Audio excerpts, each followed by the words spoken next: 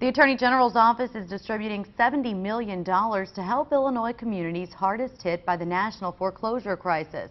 The money is Illinois' share of a $25 billion settlement with the country's five largest mortgage servicers. The banks were accused of fraudulent practices during the foreclosure proceedings. An advisory council helps decide how to distribute the money. It recommends funding 54 proposals from organizations statewide.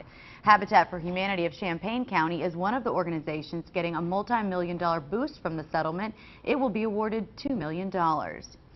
News Channel at 9 on Fox, Illinois is brought to you by ABC News Channel 20 and ABC News Channel 15.